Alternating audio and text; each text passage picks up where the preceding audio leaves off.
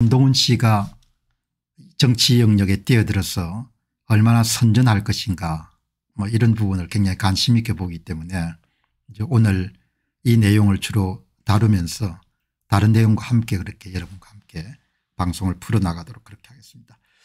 이제 첫 번째 방송은 이제 다행스럽고 조금 안도의 한숨을 쉴 수 있는 그런 뉴스입니다만은 간밤에 도착한 그런 외신 가운데서도 가장 인상적인 부분은 이제 미국이 물가 인플레이션이 상당 부분 잡혀가는 것 같다 이런 어, 통계 자료가 이렇게 보고가 됐습니다. 이제 오늘 월스트리트 저널을 이렇게 보시게 되면은 월스트리트 저널의 가장 상단에 탑 뉴스니까 상단의 탑 뉴스라는 것은 굉장히 중요한 뉴스라는 것이죠. 예, 그러니까 2020년도에 어, 코비드가 강탄 이래로 처음으로 전년 동월 대비해서 물가가 떨어졌다. 예, 전년 동월입니다. 예, 지난해 11월에 비해 가지고 물가가 떨어졌다. 이 내용이 이제 상단에 이렇게 잘 자리 잡고 있습니다. 그 내용을 한국경제신문이 아주 잘 정리를 했네요.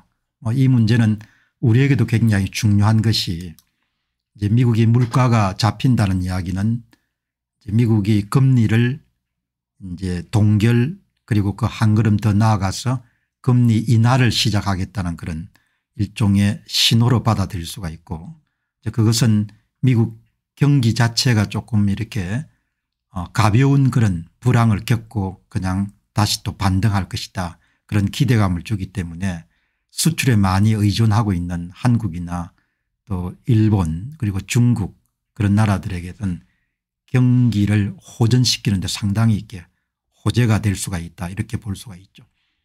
2023년도만큼 많은 사람들이 미국의 물가 동향에 관심을 가졌다는 경우는 뭐 일찍이 없었고 제 자신도 미국 물가에 대해서 이렇게 관심을 가졌던 경우는 아마 처음인 것 같습니다. 그것은 바로 미국의 물가라는 부분들이 금리 인상과 맞물려 있기 때문에 예, 그래서 이제 오늘 주식시장도 초방에는 미국 주식시장은 굉장히 강세장으로 출발했지만 시간이 가면 조금 이렇게 어 주식 가격 상승률이 조금 주춤했지만 그래도 전반적으로 가격이 상승하는 그런 호재로 받아들인 거죠. 자, 이 이제 한국경제신문은 미 연준이 예상보다 빠른 인플레이션 둔화 물가가 잡혀간다는 것이죠. 미국 11월 어, 물가지수 상승률 2%대로 진입 이런 이야기인데 내용을 여러분들 굉장히 잘 정리했기 때문에 함께 한번 살펴보도록 그렇게 하겠습니다. 제목 보시다시피 예, 미국 중앙은행이 중시하는 권은 개인 소비지출 가격지수 그 변동성이 강한 식료품이라든지 이런 부분을 제외한 렌트비가 굉장히 중요한 구성 요소를 차지하고 있죠. 그 미 연준이 물가를 잡는 것이 존재 이유라고 하게 되면 가장 중요한 지표 가운데 하나가 지금 여러분이 보시는 PCE 권은 개인 소비 지출 가격 지수가 지난달 11월이죠. 상승률이 미 연준의 올해 말 전망치까지 내려왔다. 2%대까지 내려왔다는 거죠. 인플레이션의 완화 속도가 시장 기대나 예상보다 다 빨라지면서 미 연준의 금리 인하와 2024년도에 내년도에 미국 경제 영착륙 시나리오에 한층 힘이 실릴 전망이다. 이렇게 이제 나오는 거죠. 예. 오늘 이제 이런 기쁜 소식에 비해 가지고는 미국 정신은 오래 어 간밤에는 그렇게 뭐 아주 그 상황이 좋은 것은 아닌 것 같습니다. 어떻든 간에 굉장히 기쁜 소식이고 특히 이제 이 한국은 가계부채라든지 이런 부분들이 지금 과중한 상태이기 때문에 우리 이제 금리 정책이 바로 미 연준의 금리 정책에 간접적으로 영향을 받을 수밖에 없죠. 또 다음 한번 계속 보시기 바랍니다. 미국 상무부 경제분석국은 11월 거는 물가지수가 전년 동월 그러니까 2022년도 11월 대비해서 2.6% 올랐다고 발표했다. 그 민준의 미 연준의 정책 목표가 거는 물가 지수를 2%대에 안착시키는 게 목표지 않습니까 시장이 예상한 2.8%를 밑도는 아주 좋은 그런 성과였다. 그 전이 전월인 10월 달에 거는 물가 지수의 상승률은 기존 3%에서 이날 2.9%로 수정됐다. 거는 물가지수 상승률이 2%대에 진입함으로써 이것은 2021년도 3월 이후에 2년 8개월 만이다. 예. 특히 이제 이 거는 물가지수라는 것은 변동성이 큰 에너지와 식품 가격을 제외한 예, 제외한 것은 전년 동월보다 3.2% 올렸고 예, 거는 물가지수가 미 연준이 기준금리를 결정할 가장 중시하는 지표로 보이기 때문에 전월 3.4%하고 이 시장 예상치 3.3%를 모두 밑돌았다. 예, 그러니까 모두가 시장이 기대하는 것만큼 그렇게 좋은 그런 경제 그 성과 지표가 나왔기 때문에 아마 예정대로 2024년도에 미 연준이 뭐 아마 지금 많은 사람들이 예상하는 3월부터 0.25%포인트를 출발로 해가지고 금리를 낮추는 정책을 펼 수 있지 않겠느냐 그렇게 예상을 할 수가 있습니다. 예. 물가 상승률이 미 연준의 목표치에 가까워지면서 금리 인하가 멀지 않았다는 기대감이 점점 커지고 있다. 이렇게 보시면 되겠네요. 예. 그러니까 오늘 어떻든 간에 이게 이제 탑 뉴스가 됐을 것 같은데 우리 깻잎 가격 이 폭등한 거가 탑 뉴스가 됐네. 예. 자 어쨌든 다행입니다. 예. 뭐 금리를 올리더라도 거는 물가지수나 이런 부분이 안 잡히면 또 계속 금리를 올려야 되니까 그렇게 되면 은 뭐 타격이 굉장히 컸던 컸을 것으로 예상을 했습니다. 자, 여러분 다음 이제 뉴스는 이제 한동훈 이제 전 법무부 장관 예. 비상대책위원회 위원장으로 아직 취임을 안 했죠. 예. 한동훈 난제들 예. 이 정권을 잡게 되면은 시어머니들이 많지만 그 가운데 이제 한국의 언론들이 굉장히 좀 텃세가 심하죠. 예, 텃세가 심하다는 이야기는 한국 언론들이 이제 주문을 하지 않습니까 이렇게 해달라 지금 여러분들 한국의 언론들 조선중앙동아나 이런 메이저 언론사의 주요 농객들이 한동훈 장관에게 뭘 요구하고 있습니까? 예, 조선 중앙 동아. 주요 농객들이 한 사람이 아니고 대부분 이름 뭘 요구하는 거 아니까? 예, 조건부라도 김건희 특검을 받아들여라. 이걸 요구하는 겁니다. 예. 그리고 이제 한동훈 장관 조건부로 받아들여라. 우리는 당신이 그것을 받아들이는 것을 보고 윤 대통령과 한동훈 비상대책위원장 사이에 관계가 상하관계 수직관계가 아닌 것을 확인할 수 있다. 이렇게 이제 내놓고 이야기를 하는 겁니다. 그런데 이제 김건희 특검법을 받아들인다는 이야기는 결국 이제 정쟁의 소용돌이서로 들어가는 거죠. 근데 대부분 사람들은 너무나 그게 정쟁거리로 삼으려고 하는 더불어민주당의 의도를 알기 때문에 그걸 받아들여서 안 된다는 것이 압도적인 다수가 받아들여서 안 된다고 이렇게 이야기하는데 언론사는 가리지 않고 대부분의 여러분들 칼럼니스트들이 한동훈 장관에게 그렇게 요구하는 겁니다.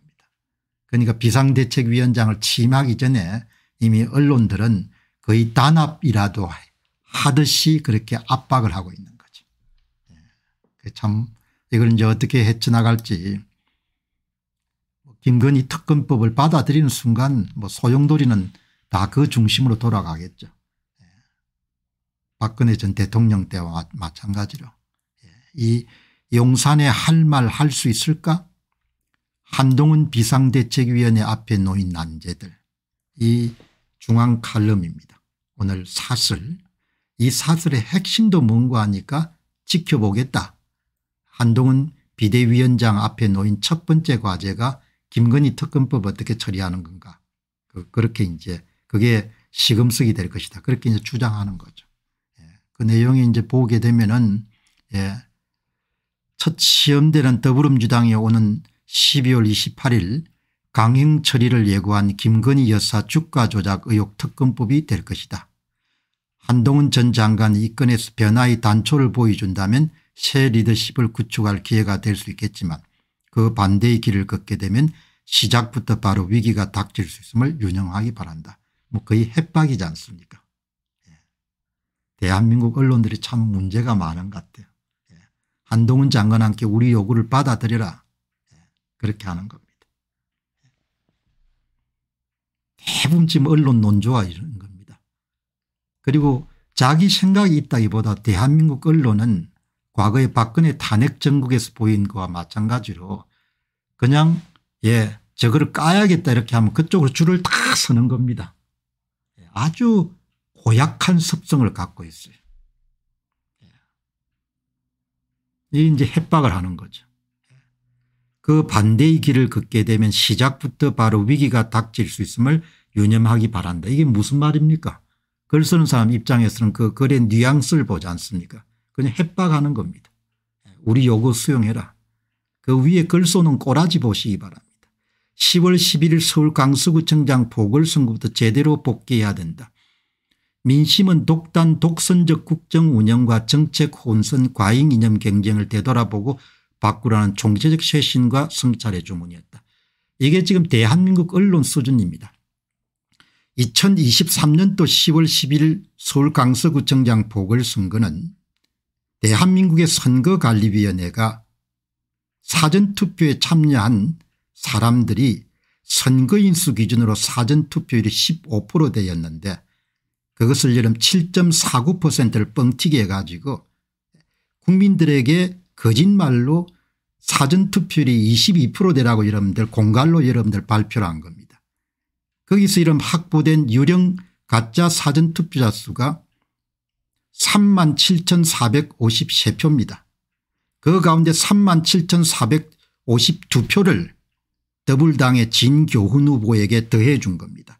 어디다 더해 줬습니까 그 소투표와 광서구 내의 20개의 진교훈 관내 사전투표 득표수에 다 더해 준 거지 않습니까 숫자가 착하게 나오지 않습니까 선관위가 발표한 조작된 사전 투표 득표수를 조사해 보면 3만 7,452표를 쑤셔 넣고 한 표는 개수 조정을 위해 가지고 잘못 투입된 투표 장목에 집어넣지 않습니까 네.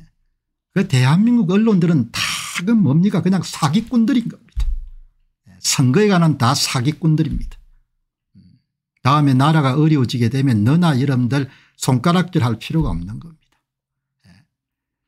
10월 11일 서울 강서구청장 보궐선거부터 제대로 복귀해야 된다. 이 선거는 2017년 대선 이후부터 역대 공직선거에서 가장 조작을 많이 한 선거지 않습니까 그래서 신종 사기 수법을 도입했지 않습니까 기존에 7번 사용하던 다, 다 다른 후보자의 사전투표 득표수를 훔치는 방법이 아니고 통합선거인 명부를 위 변조를 통해 가지고 유령 사전 투표자 수를 만들고 그걸 전부 다 여러분들 더불당 후보에게 쑤셔 넣은 예, 신종 사전 투표 조작 수법이 활용된 것이 강서구청장 보궐선거죠.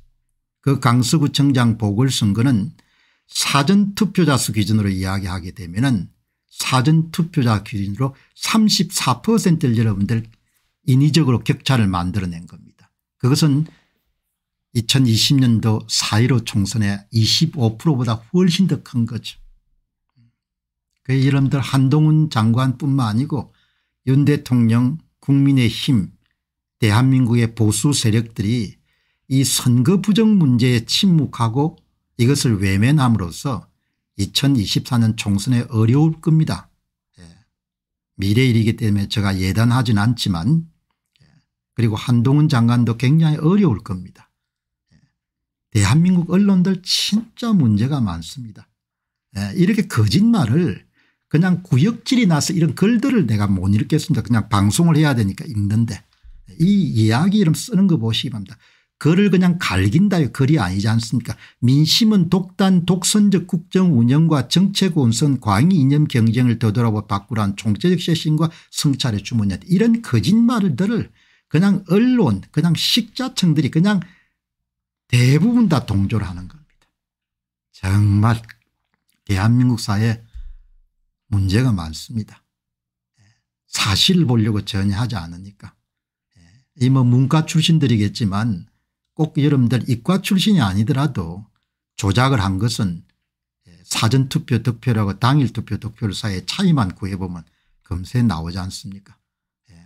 이 거짓말에 근거해 가지고 예. 그냥 예. 윽박 지르는 겁니다. 윤 대통령의 그냥 음?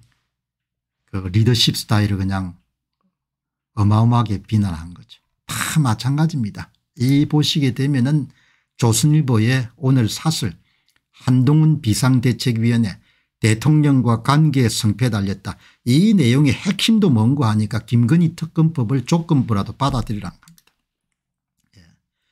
한동훈 위원장이 어느 쪽인지 오래지 않아 판명될 것이고 만약 수직관계가 그대로라면 한 위원장만이 아니라 윤 정부와 국민의힘에 좋지 않은 결과로 개결될 가능성이 높다.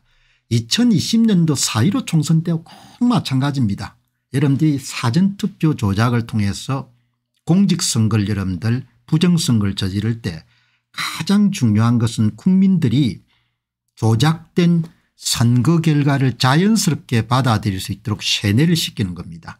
그중에 이런 가장 중요한 것이 뭔가 하니까 여론조사고 예, 여론조사에 예, 더불어민주당이 압승할 수 있는 거리만 만들면 그것에 맞추어서 모두 다 주문자 상표 부착 방식으로 선거 결과를 만들어낼 수 있는 게 지금 대한민국 상황입니다. 그리고 언론들의 논조가 분위기를 잡아주면 은 여러분들 그러면 은 다 거기에 맞춰 선거 결과를 만들 수 있는 겁니다. 2021년도 6월 달에 국민의힘의 당대표에 당선된 이준석이 당선될 때 보시기 바랍니다. 언론들이 다 뭘 했습니까 분위기 잡는 여러분들 전위대 역할을 했지 않습니까 그런 다음에 선거관리위원회가 뭘 조작했습니까 모바일 투표 득표율을 조작해 가지고 나경원 씨를 뭐죠 인위적으로 낙선시키고 이준석이를 만들었지 않습니까 예.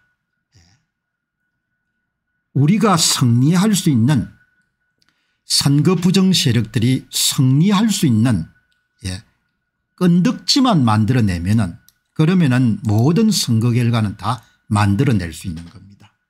예.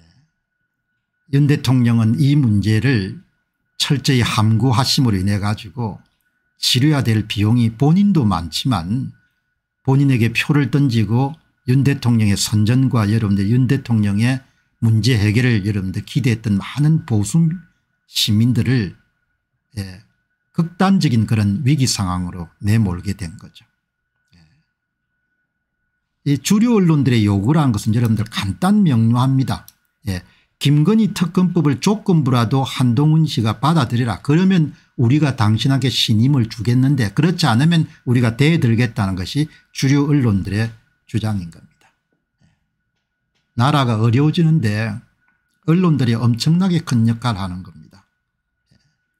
대한민국 언론은 제가 볼 때는 사실과 진실을 다루는 데는 아니라고 봅니다. 그냥 떼거지로 이런 몰려다니면서 한쪽에 방향을 잡으면 그쪽으로 그냥 그러니까 우 하고 그냥 예 정어리 때 밀려가듯이 멸치 때 밀려가듯이 갈치 때 밀려가듯이 그렇게 여러분들 예 언론 지면을 그냥 정치적으로 이용을 하는 겁니다.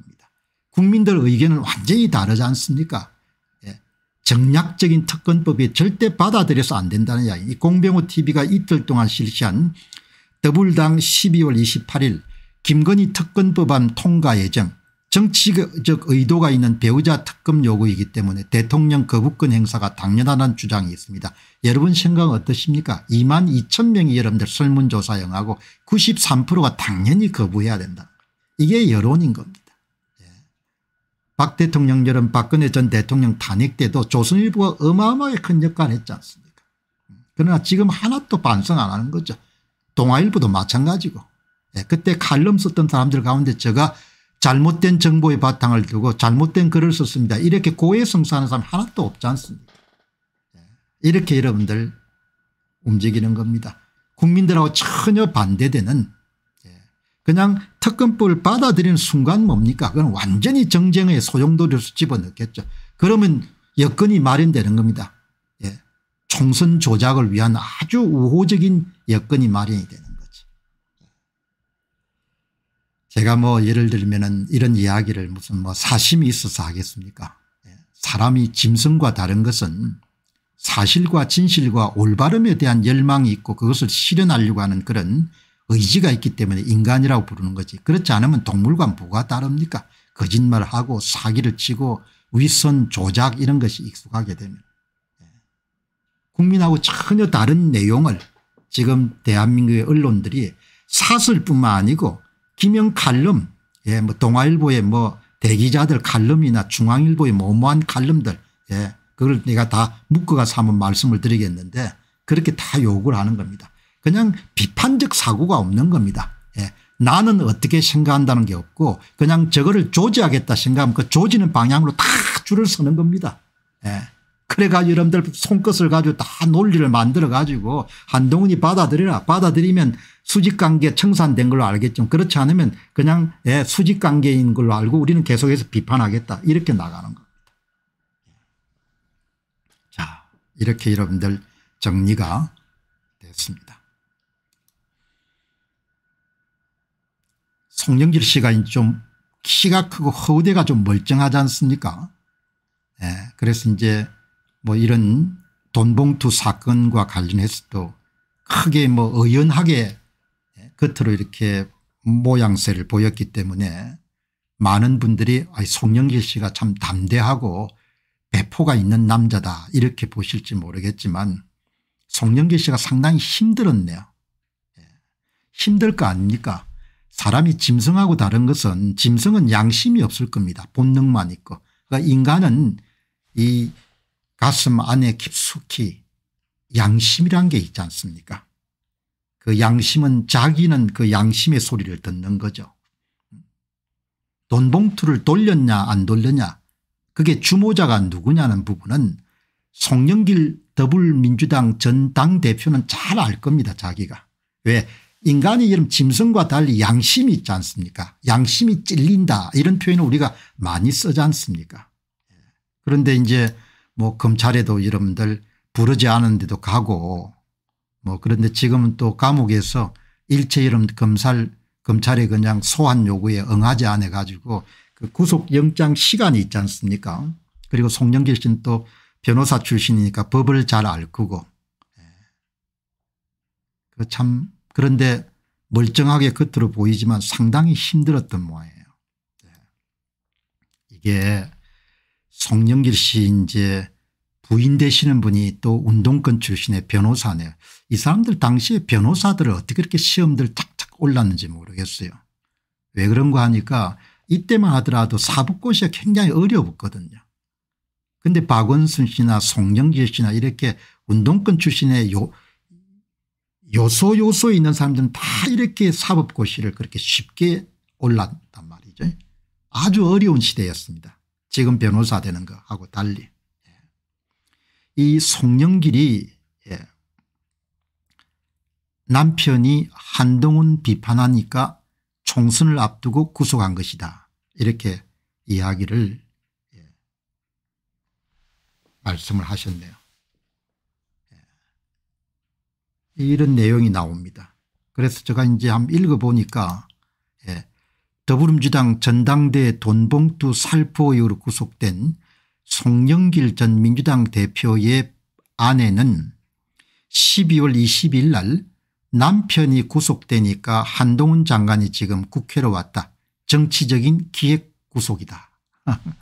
이런 경우를 우리가 뭐라고 부릅니까 사자성으로 부창부수다 이렇게 부르지 않습니까 그 남편의 그 아내다. 예. 송영길 전 당대표의 아내 남영신 씨는 송영길 전 대표가 수감된 경기도 의왕시 서울구치소 앞에서 송영길 검찰 탄압 저지 비상대책위원회가 연 기자회견에서 이와 같이 말했다. 뭐 남편이 이제 구속이 됐으니까 부인되는 분 입장에서야 뭐 여러 가지 망감이 교차가 되겠습니다만은 이거는 뭐 논리적으로 옳지 않은 이야기지 않습니까 남편이 구속되니까 한동훈 장관은 지금 국회로 오지 않았느냐 남편이 그동안 윤석열 대통령 한동훈 장관을 밖에서 비판하고 공격하니까 발을 묶고자 총선을 앞두고 구속시켰다고 생각한다. 이 변호사입니다. 예, 송영길 씨 부인이 남영신 씨가 운동권 출신인 변호사인데 이어 검찰 조사를 받은 참고인이 숨졌다면서 아주 재미나는 이야기를 하네요. 도대체 어떤 세상인데 조사받고 나와 사람이 죽어나가느냐. 그 다음 여러 문장 보시기 바랍니다. 송영길 씨가 무진장 힘들었던가 봐요. 왜냐하면 본인 정치 생명이 끝나는 사건이니까 돈봉투 사건이 그냥 사실로 판명이 되면 술이 없으면 잠을 못 잘 정도로 남편은 괴로워했고 그래서 한동훈 물병 발언이 나온 것이다. 예. 송영길 전 당대표가 겉은 멀쩡해도 되게 힘들었던가 봐요. 예. 그럴 거 아닙니까 본인이 정치 생명이 끝나는 사건이지 않습니까 예. 그때 우리가 이제 망감이 교차한다 그런 표현을 쓰지 않습니까 이제 본 돈봉투에 관련됐던 사람들은 뭐 강래구 씨라든지 윤관석 씨라든지 이정근 씨나 이런 사람들이 다 불어버렸지 않습니까? 돈을 준 김모 씨도 마찬가지고. 예. 그러니까 이제 모든 것이 다 백일하에 드러날 수밖에 없으니까 송영길 씨 입장에서는 얼마나 답답했겠습니까? 지난날 걸어온 날들도 여러분들 많이 예, 주마등처럼 이렇게 스쳐 지나갈 것이고 그동안 내가 뭐 했나라는 생각도 들 것이고. 그리고 아 그때 그 돈을 쓰지 않았어야 될 건데. 뭐 그런 후회감도 있고 그랬지 않겠습니까? 술이 없으면 잠을 못 잘 정도로 남편은 괴로워했고. 그래서 한동훈 물병 발언이 나온 것이다. 예. 부인처럼 여러분들 남편의 상황을 정확하게 이해할 수 있는 사람이 세상에 어디 있겠습니까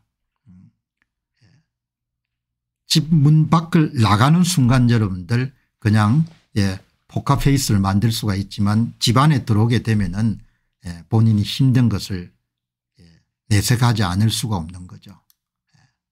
송영길 전 대표는 지난달 열린 책 출판 기념회에서 한동훈 전 장관을 건방진 놈 어린 놈이라고 지칭하며 물병이 있으면 물병을 머리에 던져버리고 싶다 이렇게 말했다. 그게 이제 물병 발언인 모양이네요. 음. 예. 뭐 술을 들지 않고서 잠을 잘 수 없을 정도로 그렇게 어려웠던 모양입니다. 그런데 예. 뭐 어떻게 하겠습니까 이재명 씨는 늘 말씀드렸다시피 현직 당대표고 공천권을 쥐고 있는 사람이고 그러니까 뭐 김용 씨라든지 정진상 씨라는 이런 사람들이 끝까지 여러분들 무덤까지 입을 다물고 갈 수 있겠죠. 그러나 송영길 씨는 전 당대표고 사람들이 줄 게 아무것도 없는 거죠. 그래서 이런 처음부터 송영길 전 당대표 관련된 사건은 백일화에 드러날 수밖에 없는 구조적인 그런 문제를 갖고 있는 거죠. 예, 그래도 여기서 제가 확인할 수 있는 것은 송영길 전 당대표가 힘들었다는 겁니다. 술이 없으면 잠을 못 잘 정도로 남편은 괴로워했고 힘들었겠죠.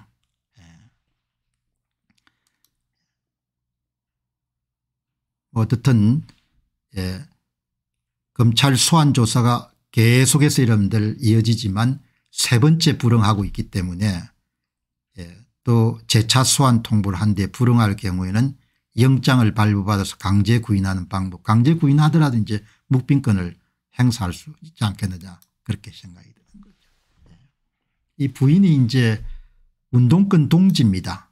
이게 2020년 5월 21일 날 더불어민주당 송영길 전 당대표가 올린 예, 저와 아내 남영 씨는 1987년에 결혼했습니다. 30년을 넘게 말 그대로 동고동락했습니다. 학생운동 동지로 만나 함께 노동현장으로 갔습니다. 그렇게 7년을 노동운동을 했습니다. 인천 택시 노련의 송영길의 사법고시 응시라는 조직적 결정에 따라 아내는 고시생 뒷바라지를 2년간 하게 됐습니다. 이후 인권 노동 변호사를 거쳐 지금의 삶을 사는 제게 아내 남영 씨는 아내이면서 정치적 동지입니다. 예. 송영길 씨가 사법고 씨가 되는데 이 인천 택시 노련이 큰 기여를 했는 모양이네요. 어쨌든 지금도 참 의구심이 듭니다. 왜 그런가 하니까 운동권 출신의 주요 인물들은 어떻게 그렇게 수월하게 다 사법고시를 통과됐는지 예. 지금하고 차원이 다를 정도로 사법고시가 통과하기 어려운 시절이었거든요. 예. 그럼 이렇게 사법고시가 통과됐으면 은 두 사람이 변호사니까 이제 한 사람은 정치를 하더라도 남영진 씨가 변호사를 하니까 그래도 알뜰하게 했으면 돈을 좀 모았을 건데 송영길 씨가 자기가 돈이 전혀 없다는 거 아닙니까? 예. 그 여러분들 참 중요하죠. 정치는 항상 할 수 있는 것이 아니고 정치는 때가 있지 않습니까? 언젠가 정치판을 떠나야 되고 그러면 노후를 스스로 해결해야 되기 때문에 정치인도 뭐죠 부정한 방법이 아닌 선에서 자신의 노후를 착실히 준비할 필요가 있는 거죠. 그 변호사 두 사람이 다 변호사인데 어떻게 돈을 그렇게 하나도 못 모아가지고 어려움이 있을까 그런 생각이 드는데요. 그래서 이런데 한번 봤습니다. 국회를 들어가 보니까 정말 돈이 없네요. 송영길 의원이 국회의원 300명 가운데 재산 순위가 237등입니다. 6억 4,813만 8천 원이 있는데 여기도 이제 전세 보증금이 한 4억 넘는가 봐요. 그러니까 실질적으로 본인이 뭐 현금이라든지 이런 거는 거의 갖고 있지 않다는 이야기죠. 그 참 의구심이 됩니다. 그 한 사람은 변호사고 한 사람은 정치인을 그렇게 오랫동안 했는데 자기 집도 그렇게 가질 수 없는지 예. 이 보시니까 이 공직자 재산 공개 내용이 송영길 빚만 7,800만 원 2023년 11월 14는 송영길 씨가 이렇게 주장했는데 한동훈은 재산이 43억인데 나는 돈이 부족해서 4, 4억 3천만 원 전세를 산다. 2014년은 예. 송영길 인천시장 재산 79% 증가 이런 뉴스 나오는데 한동훈은 10살 어린데 재산이 43억이고 나는 4억 3천만 원밖에 없다. 예. 그러니까 이번에 술을 마시지 못하면 잠을 못 잘 정도로 됐다는 이야기는 예, 뭐 살아온 과정에 대한 회한 같은 게 있었지 않겠습니까 본인이 이제 다 알죠 변호사니까 예, 이 정치자금법 위반에 해당하기 때문에 본인의 정치 생명이 끝날 수 있다. 그렇게 본 거 아닙니까? 그런데 예. 뭐 모아놓은 건 아무것도 없고 그런 상황이 된 거죠. 그러니까 참 철이 별로 없었던 거죠. 사람이 긴 시각을 보기가 힘들지 않습니까 정치도 항상 할 수가 없지만 이제 오늘 방송 보시는 분들도 다 빼지르게 느끼시겠지만 돈을 버는 일도 항상 잘 벌 수가 없지 않습니까? 그래서 경제학자들이 이렇게 이런 고안한 소득 생애 가슬 같은 걸 보게 되면 대개 한 50대 정도가 피크가 되고 60대 이후에는 근로소득 같은 게 현저하게 감소를 하지 않습니까? 그러니까 참 보면은 예, 어떻든 겉은 뭐 태연한 척 그렇게 노력했지만 송경지 씨가 무척 괴로워했다. 죄를 안 지었으면 괴로워할 필요가 없지 않습니까 송영실 씨의 부인 되시는 남영식 변호사가 남편이 술을 마시지 않으면 잠을 못 잘 정도로 힘들었다고 하는데 그럼 죄가 없으면 뭐가 이런 걱정입니까 예. 죄가 없으면 검찰이 부르든 경찰이 부르든 여러분들 뭐 그렇게 쫄릴 필요가 전혀 없지 않습니까 뭔가가 있기 때문에 그렇게 힘들어하지 않았냐 그렇게 생각이 됩니다.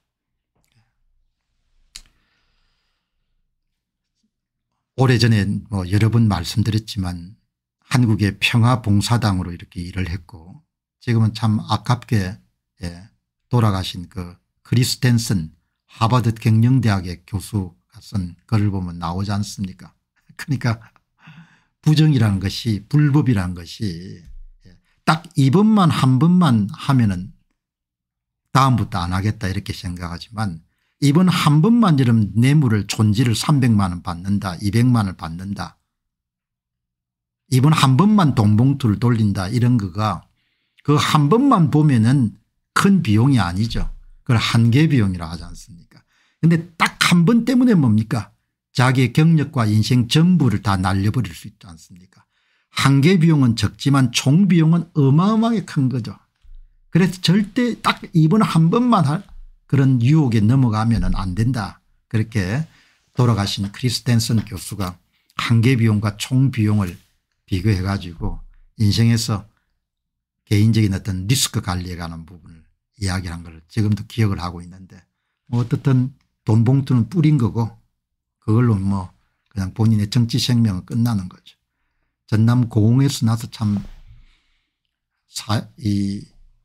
이586 운동권 출신들은 정말 선망의 대상이 될 정도로 출세를 많이 한 거죠.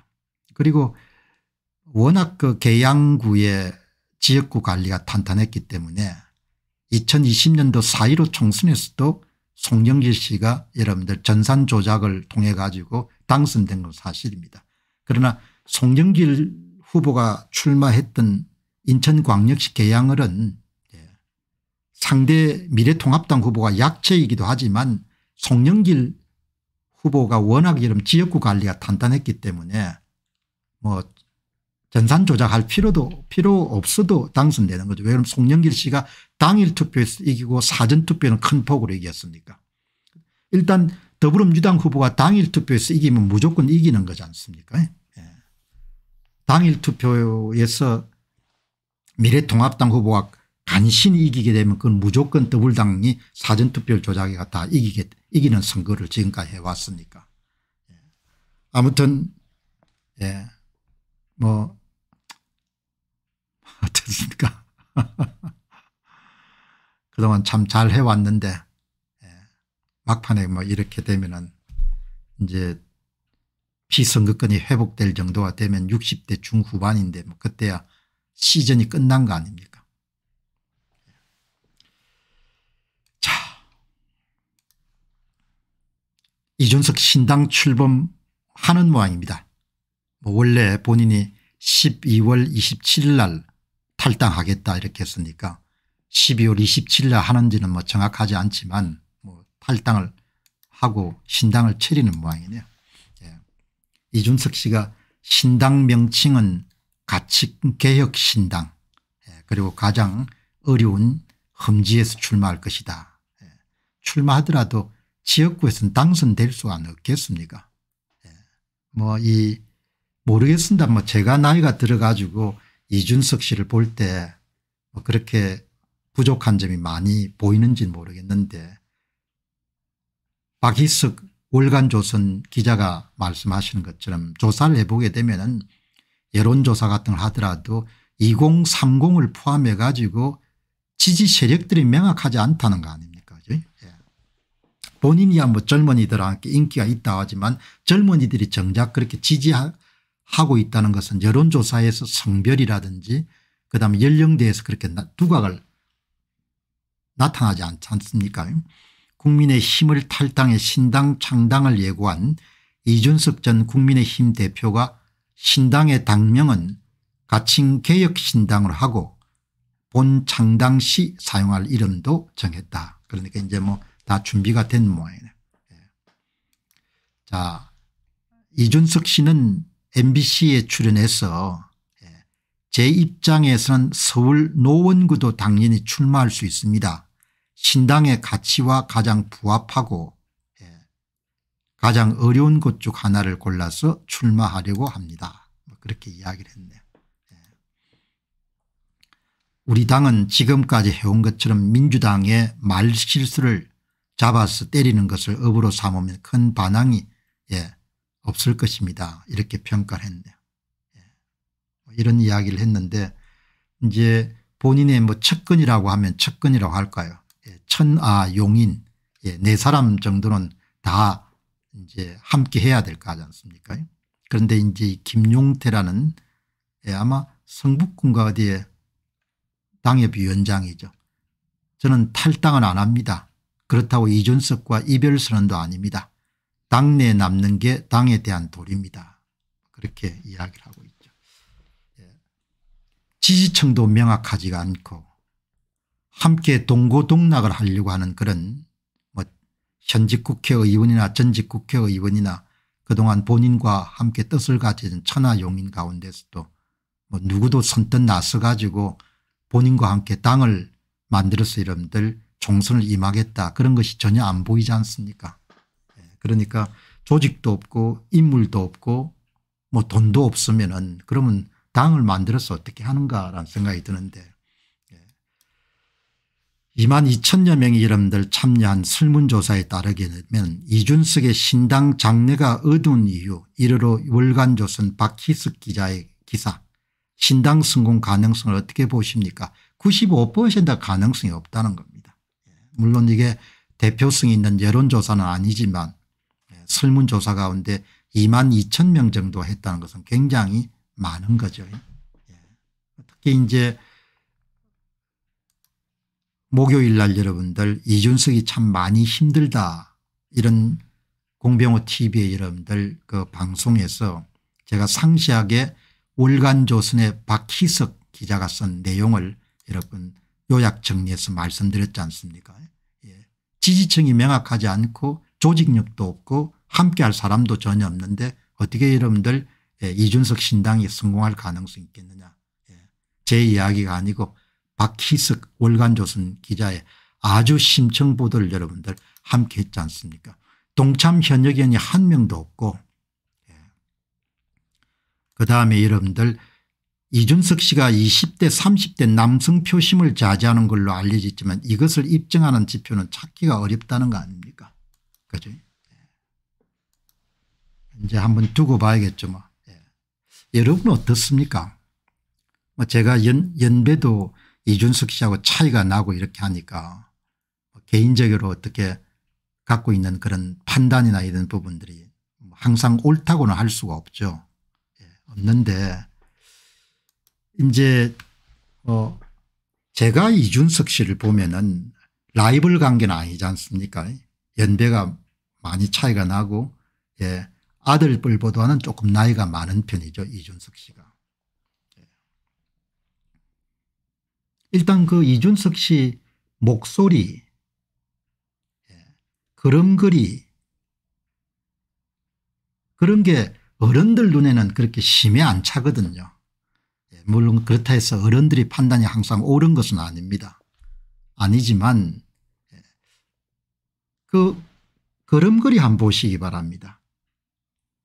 그건 뭐 사푼 사푼 사푼 사푼 걷는데 그 어른들이 볼 때 남자가 남자를 보는 눈이 있지 않습니까 남자가 보통 남자가 여러분들 그러니까 우리도 직장생활 하거나 사회생활 할 때 동료도 남자로서 보지만 그다음에 이제 부하들도 남자로서 보지 않습니까 예.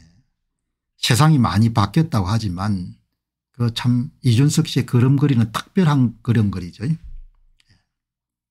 그리고 그 화술 누군가 대화를 할 때 화수를 보면은 말은 유창한데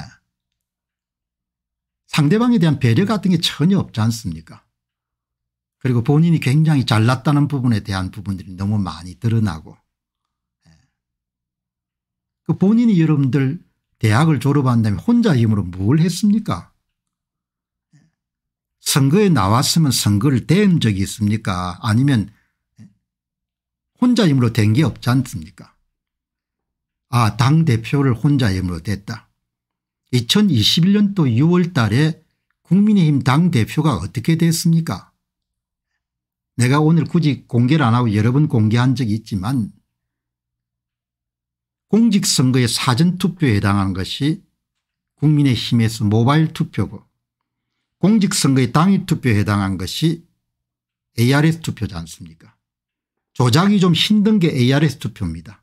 음성이 남기 때문에 모바일 투표는 여러분 전문가들의 이야기를 들으면 그냥 원하는 것만큼 다 조작할 수 있는 거죠. ARS 투표하고 여러분들 모바일 투표가 ARS 투표는 여러분 한 3만 몇천 명 될 겁니다. 모바일 투표는 11만 명 정도가 될 거예요. 그러니까 국민의힘의 당대표 경선에 이름 투표자라는 모집단 어머니 집단이 있고 어머니 집단에서 여러분들 뭘 추출했는가 하니까 모바일 투표자 그룹이 있고 그다음에 어머니 집단으로부터 여러분들 AR의 투표를 추출했는데 통계학 이름 대수의 법칙이라는 것이 명확하게 규정하는 것이 특정 후보의 총 득표율과 ARS 투표 득표율과 모바일 투표 득표율이 같거나 비슷해야 되지 않습니까 어마어마하게 차이가 나잖아요. 나경원 씨는 여러분들 10% 정도가 모바일 투표에 비해서 AR의 투표가 여러분 적고 그다음에 이준석은 7% 정도가 모바일 투표가 많지 않습니까 누군가 모바일 투표를 가지고 이준석은 더해 주고 나경원은 빼앗았던 거죠. 마치 사전투표 조작하는 것처럼. 그 선거를 누가 여러분들 대행했습니까 대한민국 선거관리위원회가 했지 않습니까 응? 그러니까 이준석 씨가 혼자 힘으로 뭘 했나 이야기죠. 우리가 여러분 어떤 사람을 평가할 때 당신 힘으로 뭘 여러분들 이뤘냐 이렇게 묻지 않습니까 응? 당신이 뭘 했냐 회사를 만들었냐 투자를 잘했냐 아 물론 하버드나 뭐 서울대를 뭐 저 명문대학을 간 거는 그거는 뭐 그, 그 이전이니까 그, 그거는 또 뭐 자기 업적이라고 볼 수 있겠죠. 다 남들이 만들어준 거지 않습니까 당 대표란 것은 대한민국 선거관리위원회가 만들어준 거잖아요. 예. 그뭐 이런 통계가 다 나오는 거지 않습니까 그뭐 본인이 그렇게 자랑스러워해야 될 이유가 전혀 없는 겁니다. 원래 성취가 많은 사람들은 겸손할 수밖에 없죠. 왜 그런가 하니까 성취라는 것이 본인이 잘 나가 여러분 잘 되는 것이 아니고 예. 뭔가를 여러분들 도전해서 여러분들 이루어 본 사람들은 참 이루는 것이 힘들고 주변에서 도와야 되고 운도 좋아야 되기 때문에 성취가 많으면 많을수록 낮은 대로 계속 임하려고 하지 않습니까 이준석 씨를 보면 저는 무슨 생각이 드는 거 아니까 딱 한마디가 떠오르거든요. 싸가지란 표현이 떠오르고요. 싸가지. 예. 참 싸가지가 없다는 생각이 들거든요. 예. 뭐 자기보다 이런 아버지 연배에 가까운 사람들도 막 그냥 예 그냥 그냥 갈기지 않습니까 그래서 오래간만에 싸가지가 뭘 이야기하는지 한번 찾아보니까 이 싸가지가 예, 모체가 되는 말은 싹수가 노랗다는 말과 비슷하고 식물은 단풍이 들지 않은 이상 병이 들면 노래지는데 싹부터 벌써 노랗다. 즉 날 때부터 걸러 먹었다는 소리다. 이게 싸가지 두구먼요. 예. 그리고 싹이 두, 두 표현의 합입니다. 싹은 말 그대로 풀 같은 것이 싹이고 아지는 강아지 송아지 망아지 등의 새끼 뜻으로 이것이 싸가지로 변했는데 싹수와 마찬가지로 다 또 비속어에 해당한 것이다. 싸가지가 없다는 말은 가망이 없다 희망이 없다 안 될 거야 말과 행동이 불친절하고 적대적이고 예의나 배려가 없다는 뜻을 말하는 것이고 비속어가 아닌데도 들으면 별로 그 말이 그렇게 좋은 말이 아닌 것처럼 보인다. 이렇게 이야기하지 않습니까? 싸가지. 뭐, 예. 그 뭐, 보통 여름 양식을 갖고 있는 사람들 눈에는 그게 다 보이지 않습니까? 예. 언론들이 이제 얼마나 만들어주는가 뭐 여기 달리 있겠지만 본인이 지었고 어디 나와도 당선되기가 힘들죠. 예. 당선되기가 힘들고 예. 물론 뭐 비례대표를 몇, 자, 몇 표, 몇 자리 만들 수는 있겠죠. 왜 그런가 하니까 비례대표 다 선관위가 만들어주는 거지 않습니까 2020년 예. 4.15 총선의 비례대표는 조작을 어떻게 했습니까 전산 프로그램을 두 단계로 돌렸지 않습니까 예. 미래한국당 표는 훔쳐가지고 더불어여름민주당인가 하는 데를 주고 더불어민주당이 직접 만든 직속위성정당 그다음 기독자유통일당 그다음 뭐 개혁당 이런 국민의당 이런 데서 이런 세 군데서 표를 훔쳐가지고 그다음에 자매정당 뭐 열린 민주당인가 그게 줬잖아 최강욱 씨가 이런 당대표가 됐던데 예. 그두 단계로 여러분들 조작하지 않습니까 그러니까 뭐 선거관리위원회가 조작하면 뭐 한 몇 자리 만들어 줄 수는 안 있겠습니까 비례대표를. 그런 거 다 이런 해결이 하나도 안 된 상태로 2024년 총선을 향해서 지금 가고 있지 않습니까 기가 찬 나라인 겁니다. 예. 예. 정말 나라가 어떻게 이렇게 이렇게 타락했는지 그 타락의 종착지가 어딘지 타락의 귀결점이 어딘지 타락의 끝이 어떤지 저는 참 잘못 흥미진진하게 이런 지켜보는 겁니다. 타락에도 너무 타락한 겁니다.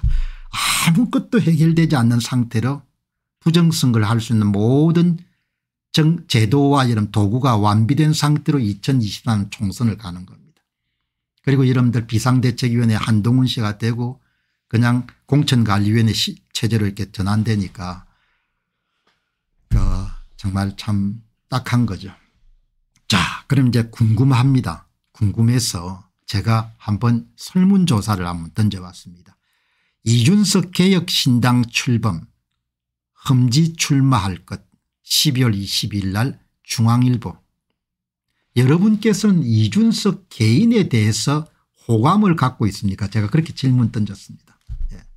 예. 첫째 아주 싫다 둘째 그냥 싫다 셋째 아주 좋다 넷째 좋다 다섯째 모르겠다 이렇게 여러분들 예, 질문을 던져봤는데 예, 여러분들 결과가 어떻게 나왔는가 하니까 2700명이 여러분 투표를 했으니까 뭐 지금은 거의 한 5천 명 이상 투표를 했을 겁니다. 2700명이 설문조사에 응했다는 이야기는 만 명이나 2만 명이 여러분들 설문조사에 응하더라도 결과가 변함이 별로 없을 겁니다. 아주 싫다가 95%입니다. 예. 싫다가 3%고 아주 좋다가 1% 좋다 1% 모르겠다 1% 여기서 1%란 건 실질적 1%가 아니고 예, 반올림에서 1%니까 0. 몇 프로인 거죠. 아주 싫다가 95%가 되는 겁니다. 언론들이 아무리 띄워주더라도 생태, 생태적으로 이준석 씨에 대한 것은 본능적으로 사람들이 거부감이 강한 겁니다. 거부감이 어마어마하게 강한 겁니다. 언론들은 자기 세계에 다 놀지만 앞에서 말씀드렸지 않습니까 김건희 특검법을 90% 이상 사람들이 반대하지만 언론들은 다 자기들끼리 좀 작당을 해가지고 한동훈 씨를 압박을 하지 않습니까 김건희 특검법을 받아들이라고. 예. 그러니까 언론 따로 국민들이 따른 겁니다. 예. 이준석에 대한 이런 호감도도 마찬가지입니다. 방송 라디오 이런 데서 이준석을 다 띄워주지만 보통 사람들은 예, 그냥 사람들이 싫은 겁니다. 예. 앞에서 이야기는 싸가지가 없다고 생각하는 사람이 많은 사람 마음은 다 비슷하지 않습니까 예. 이게 그렇게 사람들이 된 겁니다. 그래서 선거를 어떻게 이기겠습니까 그래서 여러분 제가 무슨 말씀들을 하시나 한번 들어가 보니까 일부만 이렇게 한번 봤습니다. 정직하지 못합니다. 사회로 부정선거에 대해서 하태경이랑 둘이 아니라고 날뛰던 애들 아닌 겁니까 아닙니까 저는 너무 싫습니다. 입이 너무 가볍고 자기가 제일 잘난 대단히 교만한 사람입니다. 사람 마음은 다 비슷한 겁니다. 예. 인간이 인간다워야 인간이지 않습니까 이렇게 이야기를 하는 겁니다. 사람들이 보통 사람들이 제가 지어낸 이야기가 아니고 예. 이준석 이름 자체를 거론하기가 싫습니다. 말은 조잘거리고 많이 하는데 이준석은 자신이 무슨 말을 하는지도 모르고 찌끄린다는 게 문제입니다. 100% 실망입니다. 너무 약한데요. 1000% 만프로 싫습니다. 이렇게 이야기하는 겁니다. 예.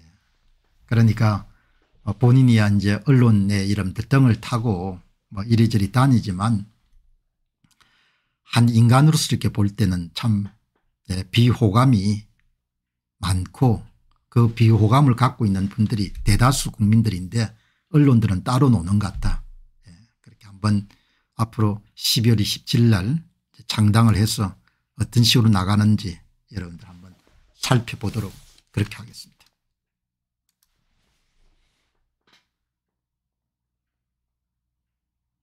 아무도 여러분들 부끄러워하지 않습니다. 거짓말을 하더라도. 예. 누구도 부끄러워하지 않는 세상이 되어버린 겁니다.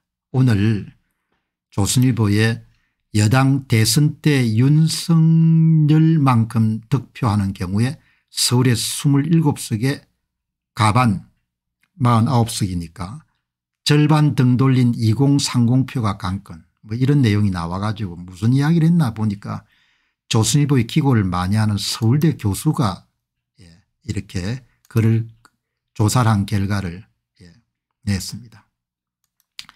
참 요즘에는 이 보면은 서울대 교수들도 참 예, 이제 2024년 총선을 예측한 결과입니다. 그런데 논리도 없고 다 거짓말인 겁니다. 예. 이런 거짓말을 그냥 다 언론들하고 이런들 짝짝꿍이 돼 가지고 예. 그걸 뭐 지면에 어마어마하게 실어준 겁니다. 음? 국민의 힘이 지난 그렇게 대선 지지율만큼 국민의 힘이 2020년 4.15 총선에서 선전했으면 지역구만 138석을 차지했을 거다. 그런 이야기입니다. 여러분 이 차이가 왜 나왔습니까 2020년 4.15 총선 조작값하고 대통령 선거 조작값이 다르잖아요. 그러니까 이 교수란 사람들이 한마디로 형편이 없는 겁니다.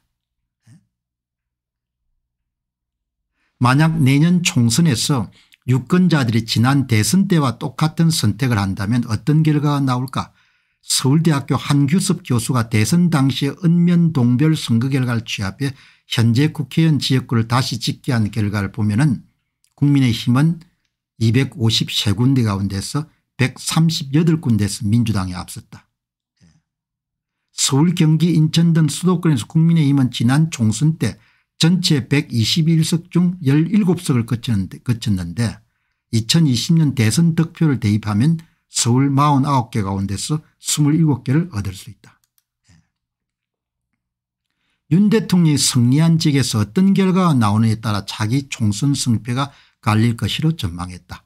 서울대 한규섭 교수가. 2024년 예. 총선은 대한민국 선거관리위원회가 어떤 조작 방법을 사용하고 조작값을 어떻게 입력하는 따에 결정이 되는 거지 윤 대통령 인기다와 전혀 관련이 없는 겁니다. 한규섭 교수는 현재로서는 지난 21대 총선과 20대 대선 사이 어디에선가 내년 총선 결과 결정될 가능성이 높다. 스윙 지역구의 성표는 현 정부에 대한 평가 공천 과정에서 보여주는 낮은 자세 공천받은 후보자의 경쟁력 지역구를 위한 주요 정책 제안 같은 요인에 따라 결정될 것이다. 다 여러분들 뭡니까 헛소리를 하는 겁니다. 여러분들 이 한규섭 교수가 한 이야기가 이게 2020년 총선에서 3구 대성 대통령 선거 정도의 지지도가 있었으면 실제로 국민의힘이 80 20, 2020년 총선에서 84석 민주당의 163석을 차지했는데 대통령 선거의 지지율이 그대로 적용이 됐으면 국힘이 138석 민주당이 114석이 됐을 것이고 가장 조작이 되었던 지방선거처럼 여러분들 지방선거의 지지율이 그대로 2020년도 총선에 적용이 됐으면 181석으로 국힘이 이겼을 것이다. 서울대 한규섭 교수가 2022년 대선과 지방선거 투표 결과를 현재의 국회의원 지역구에 대입해 분석한 결과다. 이렇게 나오지 않습니까 여러분 이게 왜 나옵니까 예. 이게 조작값이 다르기 때문에 이렇게 결과가 다르게 나온 겁니다. 여기서 조작값이 가장 심했던 이런 선거가 어느 선거입니까 2020년 예. 총선이 가장 조작값이 심했고 그 다음 조작값이 심했던 은메달 지이 2022년 3구 대통령 선거입니다. 조작이 가장 덜했던 선거가 뭐죠 가장 여러분들 정상투표에 가까웠던 선거가 윤 대통령이 등장하고 나서 선거 사기 세력들이 대통령 눈치를 봤던 2022년 6월 1일 전국 동시지방선거가 가장 정상선거에 가까웠습니다. 조작값이 여러분들 낮으면 낮을수록 국힘당 여러분들 의석수가 커지는 겁니다. 조작을 가장 많이 했던 2020년 총선은 84석으로 국힘이 대표했고 대통령 선거는 저는 138석을 차지했고 지방선거는 여러분들 지방선거는 조작을 가장 적게 했기 때문에 그것을 예 그것을 여러분들 2020년도 총선 결과에 대입하게 되면 가장 국힘이 많이 당선되는. 여러분 이거지 않습니까 이거 이거 한번 보시기 바랍니다. 예. 이게 이 서울대학교 한규섭 교수가 2020년 총선에 실제로 국힘이 대패했는데 대통령 선거에 여러분들 지지율을 적용하게 되면 2020년 총선 결과 138대 114로 국힘이 이겼을 거라는 거 아닙니까 지방선거 이름 결과를 2020년 총선에 대입하게 되면 국힘이 대승을 했다는 거 아닙니까 이게 왜 차이가 납니까 조작값이 다르기 때문이잖아요. 예. 2020년 총선에서는 강서구에서 35%를 조작했습니다. 미래통합당 후보가 얻은 사전투표 득표수 100장당 35장을 훔쳐가지고 더불어민주당에 더해줬잖아요. 대통령 선거는 25%를 조작했습니다. 2020년 지방선거는 15%를 조작했습니다. 조작을 적게 하면 적게 할수록 국민의 힘이 대승을 하는 거잖아요. 예. 그러니까 2024년 총선 결과는 조작을 막을 수 있느냐 조작을 조작값을 어느 정도 낮출 수 있냐에 따라 결정이 되는 겁니다. 대한민국 선거는 국민들이 결정하는 게 아닙니다. 이거 보시기 바랍니다. 예? 여러분 눈 크게 뜨시고 이거 보시게 되면 이게 2023 총선의 굉장히 시사점이 큰 겁니다. 예. 이세 선거 가운데 가장 정상적인 선거에 가까웠던 것이 대통령이 등장하고 첫 번째 치러진 지방선거입니다. 지방선거에서 여러분들 가장 조작값이 낮았기 때문에 국민의 힘이 대성을 했던 겁니다. 가장 조작을 심하게 했던 데가 4.15 총선입니다. 그러니까 84석밖에 안 되는 겁니다. 2020년도 여러분들 대통령 선거를 대통령 선거를 4.15 총선처럼 여러분들 조작했으면 윤 대통령 당선 못 됩니다. 그러니까 이거 여러분 보면 너무 멋지지 않습니까 예? 한규섭 교수가 여러분들 해놓은 연구 결과를 가지고 여러분 이 조작값을 보시기 바랍니다. 예? 35% 25% 15% 조작값 35% 조작값 25% 조작값 15% 조작값이 낮아지면 국힘이 이런 대성을 하는 겁니다.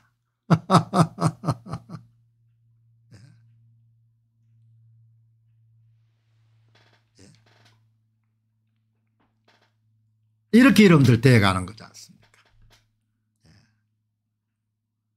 그렇게 서울대 교수라는 사람들이 참 내 보니까 너무 기가 차가지고 여러분 그러니까 조작값만 여러분들 높이면 대표를 하는 겁니다. 조작값을 높이면 강서구청장 여러분들 10월 11일 강서구청장 보궐선거처럼 여러분들 35% 정도 조작을 하게 되면 강서구청장 보궐선거는 아 여러분들 그 가장 역대 사상 최고니까 그걸 하게 되면은 4석 정도 차지합니다. 인천 경기 서울 지역에서 서울은 3석 차지할 겁니다. 국민의 힘이 대표하는 거죠. 그러니까 이거 보시게 되면 여러분 너무 재밌지 않습니까? 아니 지방선거 수준 정도로 여러분들 그 국회의원 선거가 이루어지게 되면 181석을 차지하고 대통령 선거 정도면 138석 총선은 84석. 이게 왜 차이가 나냐? 조작값 차이가 나죠 조작값. 응? 2017년 대통령 선거 이 이래로 가장 조작이 낮고 그다음에 여러분들 정상적인 투표에 가까웠던 선거가 윤 대통령이 등장하고 나 처음 치러졌던 2022년 6월 1일 전국 동시지방선거죠. 그 선거에서 강서구 같은 경우에는 말하더라도 강서구청장 선거의 조작값이 15%밖에 안 됐거든요. 예. 이렇게 이러면 되, 되, 되 지 않습니까 그러니까 이게 여러분들 지금 보시는 이게 강서구, 강서구의 이름 역대 선거입니다. 예. 2014년 지방선거 강서구 2016년 총선 강서구 2017년 대선 강서구 2018년 지방선거 강서구 2020년 총선 강서구 2022년 대선 2022년 지방선거. 조작 앞에 대책 없습니다. 예. 조작하면은 예, 대패합니다. 이렇게 대패. 10월 11일 강서구청장 보궐선거처럼 사전투표 선거인 명부에 해당하는 통합선거인 명부 위변조를 통해 가지고 강서구청장 보궐선거처럼 선거인 수 기준으로 사전투표율을 7.5% 정도 뻥튀기를 하게 되면 전국에 329만 표 정도를 여러분들 유령 사전투표에서 쑤셔 넣을 수가 있습니다. 그러면 이런 지역구를 합쳐 가지고 비례대표를 20석을 가정하면 더불당이 214석까지 차지하지 않습니까 5% 조작하면 220만 표의 유령 사전투표도를 집어넣을 수가 있는 거죠. 그러면 더불당이 200 뭐 2석인가 204석인가 그렇게 차지하죠. 두 경우 모두 다 개헌 저지스 나고 여러분들. 탄핵 저지선이 다 무너지는 거죠. 이렇게 선거를 만드는데 뭐 어떻게 선거를 이기겠습니까?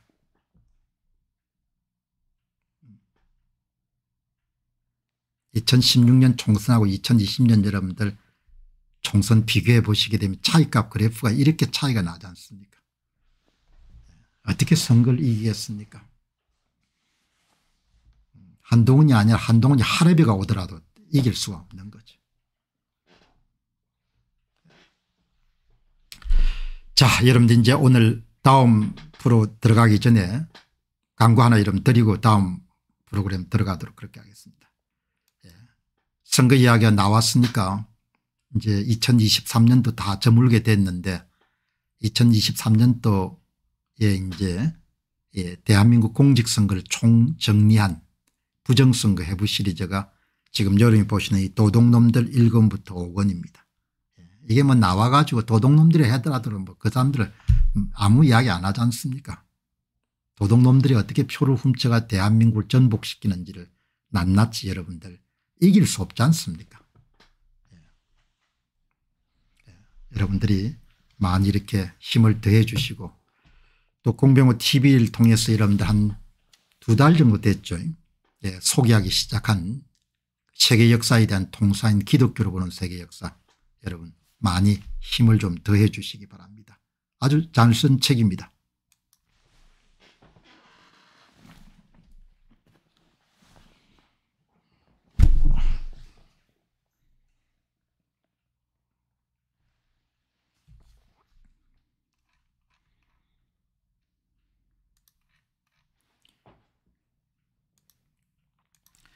자 여러분 이제 다음 주제 들어가도록 그렇게 하겠습니다. 국제결제은행에서 대한민국의 부채를 추계한 그런 자료가 나왔네요. 이 자료가 갖고 있는 중요성하고 의미는 국제 비교를 했다는 겁니다.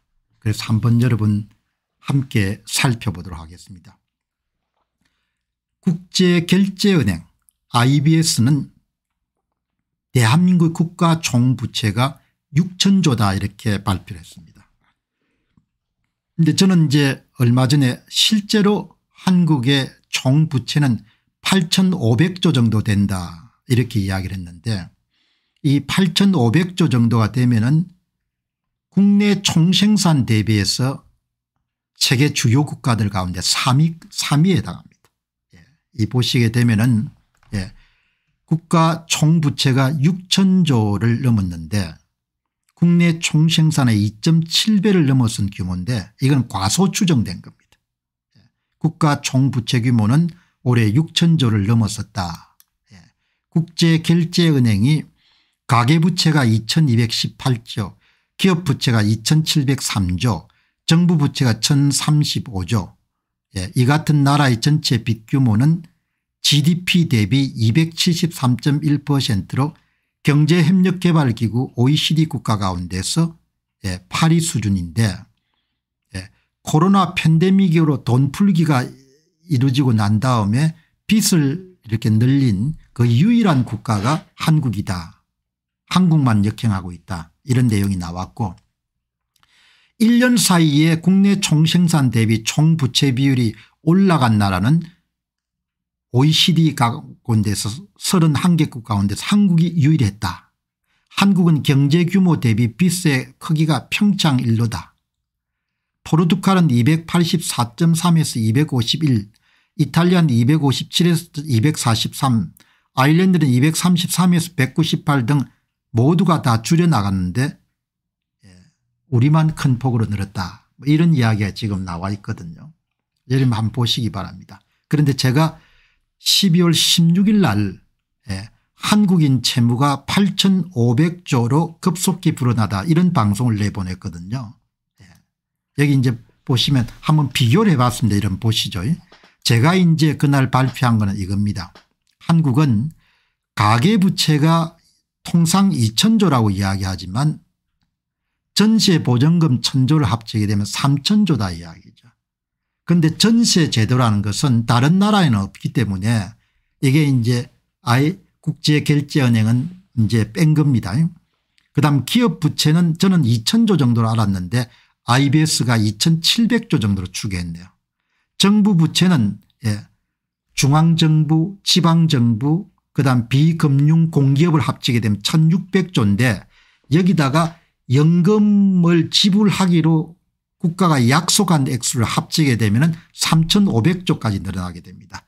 연금 충당 부채 국가가 궁극적으로 지불해야 될 부채가 1825조 정도가 포함이 돼야 되는 거죠.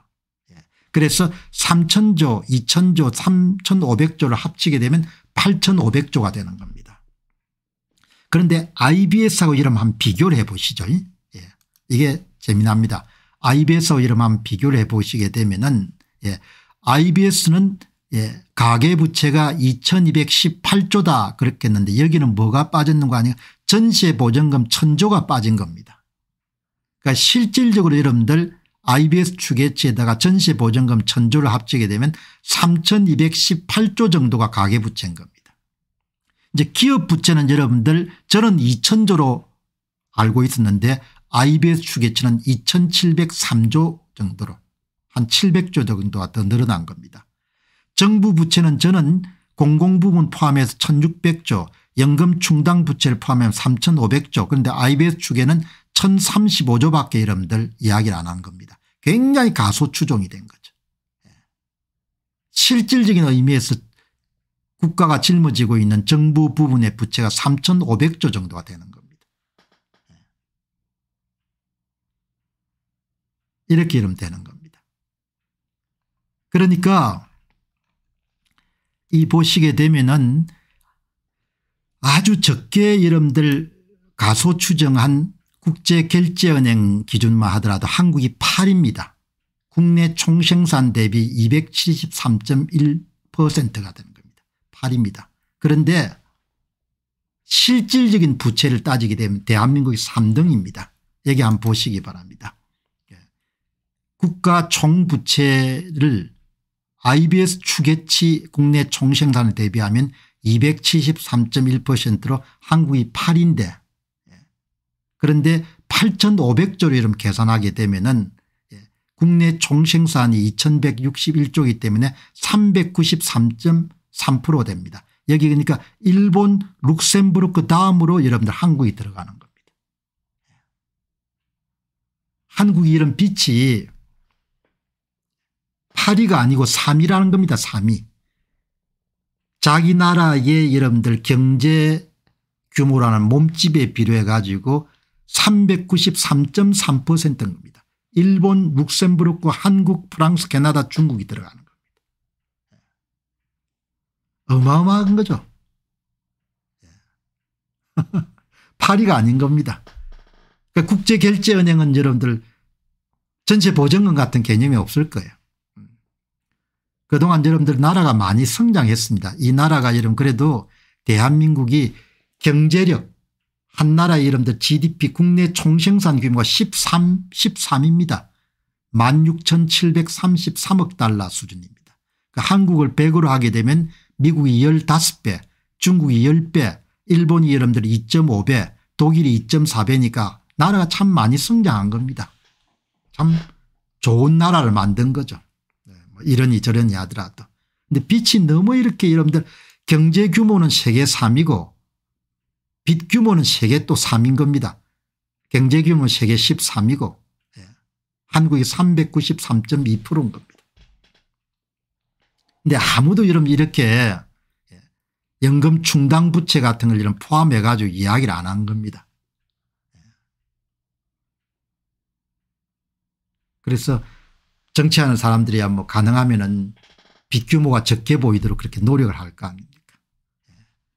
경제도 많이 키웠는데 부채도 어마어마하게 늘어난 겁니다. 세계 3위권이 속한 겁니다. 자 여러분들 어떻든 간에 참 야무지게 해야 되는데 이게 이제 참 쉽지가 않은 거니까 좀 딱할 때가 있죠. 자 여러분 이제 오늘 또 예.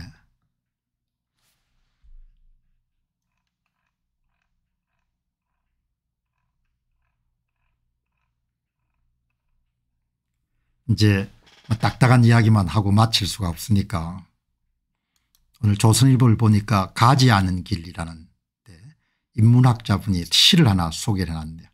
이동규 경희대 경영대학원 교수가 이번에 이제 류신에서 나오는 그런 길에 관한 내용을 한동훈 장관이 인용해 가서 많은 사람들이 좀 새롭게 느꼈지 않습니까 예. 이제 이동규 교수님 말씀이 길은 찾는 게 아니라 만들어 나가는 것이다. 누구도 두 길을 동시에 걸을 수가 없다. 선택하면 은 하나는 포기해야 되는. 예. 그러니까 참 살아가는 그런 모든 순간이 소중하고 귀중한 겁니다. 예. 하나를 살아간다는 것은 하나를 선택하는 거지 않습니까 예. 자기의 시간과 에너지와 열정을 어디에 투입할 것인가를 결정하는 것이고 그걸 선택함으로써 나머지는 자동스럽 자연적으로 포기가 되는 거죠. 삶은 모든 순간들이 너무나 귀하고 귀한 겁니다.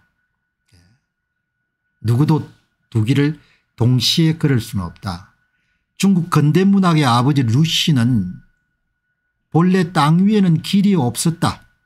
걸어가는 사람이 많아지면 그것이 곧 길이다 라고 썼고 그 길에는 프랭크 시나트라의 My Way도 있고 오래된 흑백 영화 길도 있다. 특히 삶의 벼랑 끝에 몰린 프로스트에게 퓰리처상을 안겨다 준 시 가지 않은 길에 마지막 장은 늘 서늘한 위로를 준다. 길이란 결국 자신이 선택한 대로 만들어지고 대로가 있으면 막다른 골목도 있고 돌이켜보면 순조롭고 무난한 인생보다도 치열하고도 파란만장한 삶이 훨씬 더 아름답고 보람 있는 과정이었음을 느낀다. 예. 길. 참 여러분 길이라는 것이 주는 그런 뭔가 이렇게 울림이 있죠. 길이라는 것이. 예. 방송 준비하면서 이제 이미지를 한번 찾아보니까 한겨울이 길입니다. 예. 길을 가는 거죠. 예.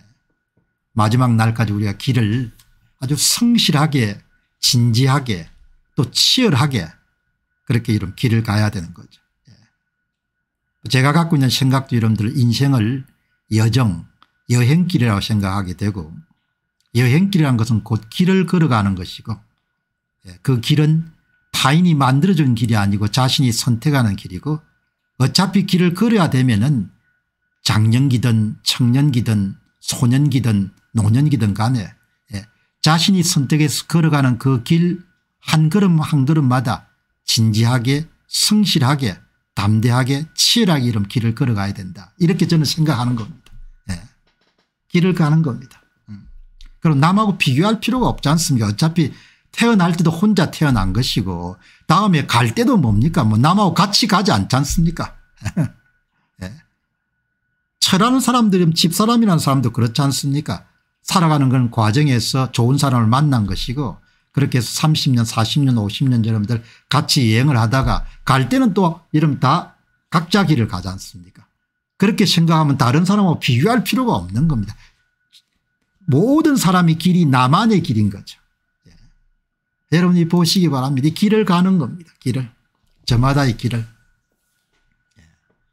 그 저마다의 길을 가기 때문에 그 저마다의 길에서 만나는 그런 예, 사건 사연들도 다를 수밖에 없고 그러니까 성실하게 진지하게 걸어가야 되는 거죠. 예. 이 겨울 가을 그리고 여름 봄이 또 다 바뀌지 않습니까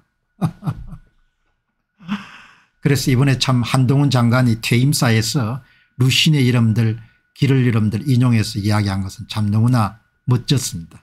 예. 그 길이라는 것이 참 예.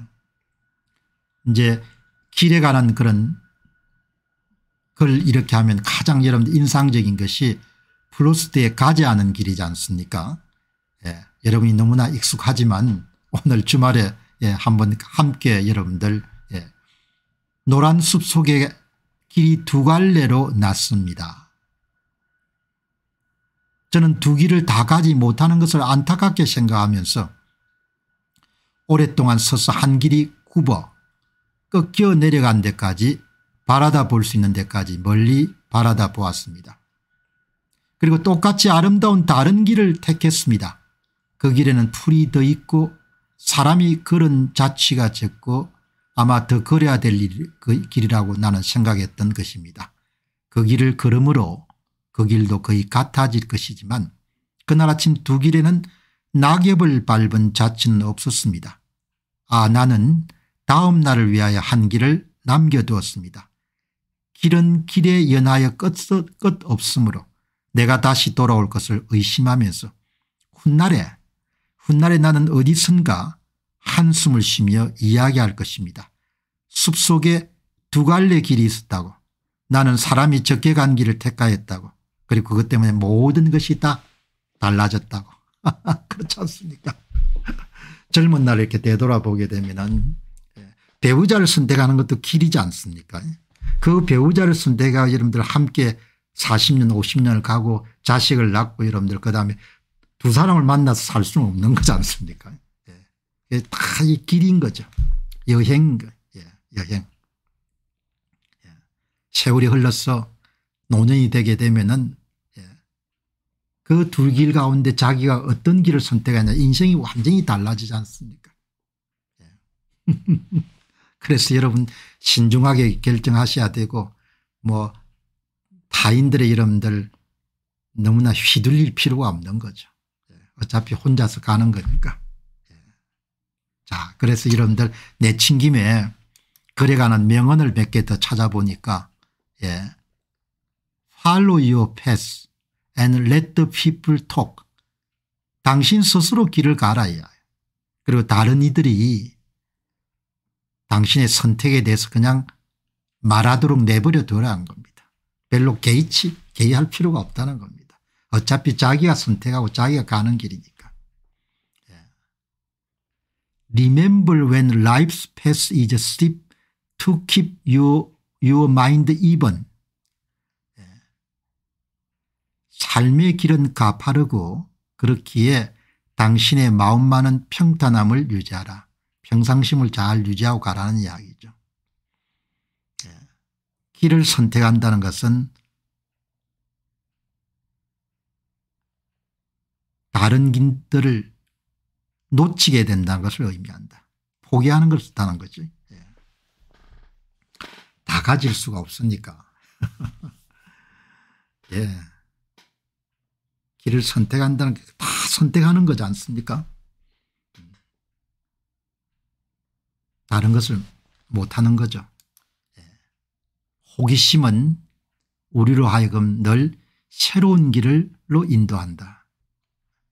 세월이 흐르더라도 그런 삶에 대한 열정이라든지 새로운 지식과 경험에 대한 그런 호기심이라는 이런 것을 유지하는 것이 필요하고 또 중요하죠. 예. 정체되지 않고 요즘에는 참 그래도 호기심을 충족하기는 너무나 좋은 시절이지 않습니까 예. 특히 요즘에는 여행을 다룬 그런 우리가 전혀 가보지 않는 세계를 다룬 그런 영상물들이 참 많죠. 예. 호기심이 있어야 될 것 같아요. 그리고 호기심을 가, 가진 사람들은 늘 성장하지 않습니까? 예, 지루하지 않고. 예. 다른 사람하고 비교할 필요가 없다는 거죠.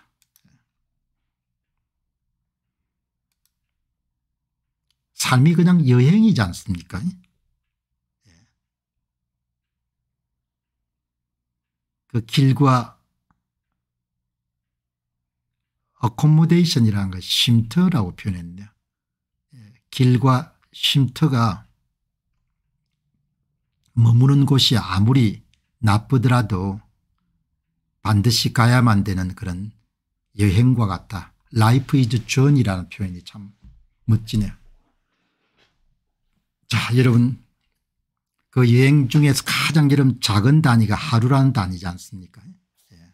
오늘 귀한 시간 여러분 잘 사용하시고 또 내일 저는 어김없이 5시 50분에 여러분들 이게 재밌지 않습니까 매일 세상에 새로운 사건이 터지니까 예. 옛날에는 여러분들 이 방송을 좀 의무감을 했는데 가만히 이렇게 생각해 보니까 이 방송처럼 재미난 게 어디 있냐 이야기죠. 매일 새로운 사건이 터지니까 예. 그래서 여러분들이 이렇게 아침 시간에 찾아주셔 가지고 예, 이렇게 늘 새로운 것을 여러분과 함께 나눌 수 있어 굉장히 행복하게 생각합니다. 자, 여러분들 어김없이 내일도 내일도 일요일이지만 아침 5시 50분에 여러분 찾아뵙도록 그렇게 하겠습니다. 마무리하기 전에 여러분들 광고 하나 드리고 그렇게 마무리하도록 그렇게 하겠습니다. 2023년도에 이제 제가 한 일 가운데 뭐 여러 일 가운데 좀 마무리하는 작업이 바로 이 지금 선거 부정을 글로 정리한 예, 글로 다섯 권의 책으로 정리한 도둑놈들 시리즈입니다. 많이 보급될 수 있도록 여러분께서 힘을 좀 더해 주시고 그다음에 공병호 tv에서 이제 소개하는 이 책은 정말 여러분 잘 썼습니다. 기독교로 보는 세계 역사. 예. 뭐 아마 이 김동주 교수 같은 분은 이런 책은 다시 나오기가 힘들 것 같아요. 본인 일생에서. 그 본인 일생에서도 항상 여러분 글을 쓸 수 있는 게 아닙니다. 음. 아주 역동적으로 쓸 수 있는 데가 그 시, 항상 시전이 있는 거죠. 네, 그러니까 제가 볼 때는 김동주 교수의 대표작이지만 이보다 더한 책은 나오기가 힘들 거다 이렇게 봅니다. 네. 그게 항상 글을 쓸 수 있는 게 아니거든요. 글을 쓰는 게 굉장히 고된 일이거든요. 이 기독교로 본 세계 역사를 독서 좋아하시는 분들 한번 도전해 보시기를 권하고 싶습니다. 자 여러분 오늘 어, 방송 마무리하고 또 내일 여러분들 5시 50분에 여러분 찾아뵙도록 그렇게 하겠습니다. 하루가 길이고 또 삶이 길이니까 이왕 이런 길을 걷는 것이 살아가는 것이니까 진지하게 성실하게 치열하게 그렇게 여러분 걸어가시기 바랍니다. 감사합니다.